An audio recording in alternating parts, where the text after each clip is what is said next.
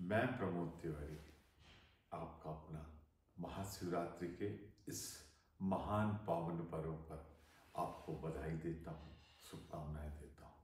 याद है ना आपको? इस बार भी राष्ट्रीय एकता महोत्सव के लिए मैंने और मोना जी ने मिलकर बहुत मेहनत की है। बहुत राष्ट्रीय और अंतर्राष्ट्रीय ख्यात के कलाकारों को आमंत्रित किया है। मेरा आपसे आग्रह है, आए समारोह की शोभा बढ़ाएँ।